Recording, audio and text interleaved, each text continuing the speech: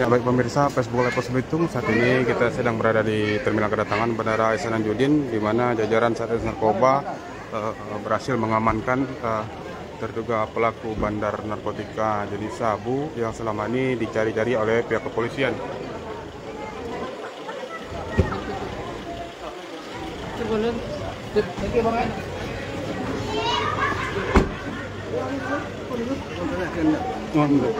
Boleh.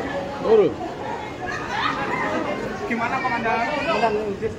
Apa itu? Ya, Komandan terkait penangkapan bandar narkoba ini Komandan. Yang selama ini komandan yang dicari oleh Polres Belitung komandan? Oke, rekan kami jelaskan eh, kemarin kami mengamankan buronan ya ataupun DPO eh, kasus narkotika Polres Belitung. Ya, jadi tersangka tersebut sudah dua tahun ini menjadi DPO, DPO Satuan Narkoba Polres Belitung Diamankannya di mana komandan? Kapan? di Jakarta di salah satu apartemen di apartemen Casablanca di Jakarta Timur. Oh, Jakarta Timur. Kapan Komandan? Kemarin, Kemarin. kemarin sekira pukul eh, 12 siang. 12 siang. Untuk barang bukti apa aja?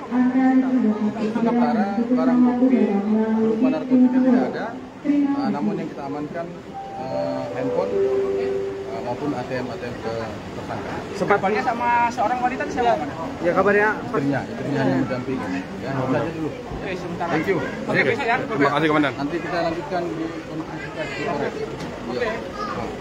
Ya, baik pemirsa, tadi baru saja Kasat Res Narkoba Polres Belitung eh, memberikan keterangan bahwa memang benar eh, mereka baru saja mengamankan eh, seorang pelaku yang selama ini menjadi eh, DPO Satres Narkoba Polres Belitung yang diketahui bernama Misrawi alias Kaca yang memang selama dua tahun ini eh, menjadi bandar sabu yang mengedarkan eh, sabunya di wilayah Kabupaten Belitung.